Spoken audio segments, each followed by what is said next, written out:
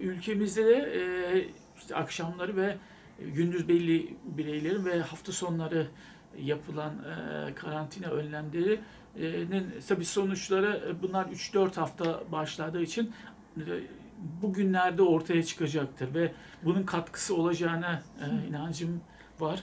E, ancak daha fazla etkili e, bir e, e,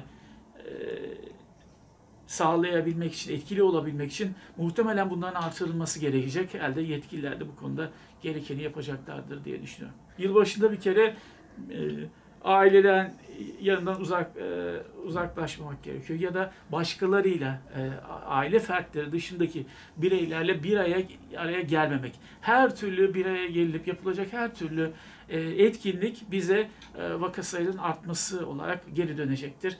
E, bu böyle bildi. Güzel yeni bir yılın heyecanı kutlamak e, ama evde kutlanması en doğrusu. Herhangi bir yere gitmeden e, en e, en minimum temasın olduğu bir süreçte kutlamak ya da yeni yılı karşılamakta yarar var.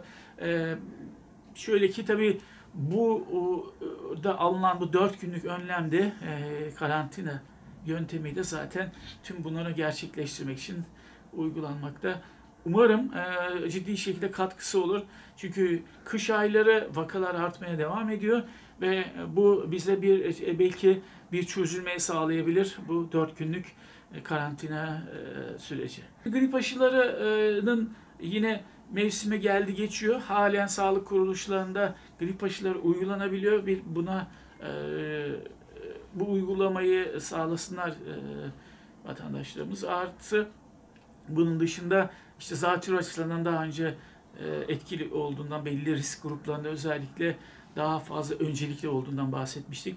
Muhtemelen birkaç ay içerisinde e, COVID-19 e, aşıları da kullanıma girecek ki birkaç ülkede bildiğim kadarıyla girdi. Bunların da hastalığın sıklığını düşürmesi ya da kitle bağışıklığını geliştirme açısından ciddi bir katkısı olacaktır. Yani bugün için aşılar bizim en önemli korunma vasıtamız olarak duruyor. Tabii bunun yanı sıra kişisel e, hijyenik önlemler, maskeydi, temizlikte ya da işte fiziksel mesafeye dikkat etmek gibi hususları da hiçbir zaman ahtadan e, çıkarmamak gerekiyor. Aşıların tabii zaman içerisinde üretilebilirliği göz önünde bulundurulduğunda aslında daha riskli bireylerin öncelikle aşılanması öneriliyor. Sağlık çalışanları, e, işte 65 üzeri herhangi bir rahatsız olan bireyler ve sanayinin durdurulamaz bir şekilde e, sürdürmesi gereken yerlerde çalışanlar mutlaka aşılanacaklar. Tabii e, firmaların aşıları çıktıktan sonra bunların üretimle ilgili süreçler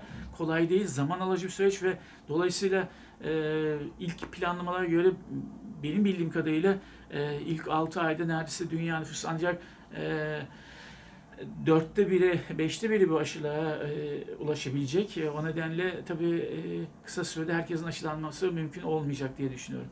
Ama %60-70 düzeyinde bir bağışıklık sağlanması durumunda toplumda ciddi bir şekilde hastalığın e, önüne geçilmesi için bir e, bariyer oluşacaktır.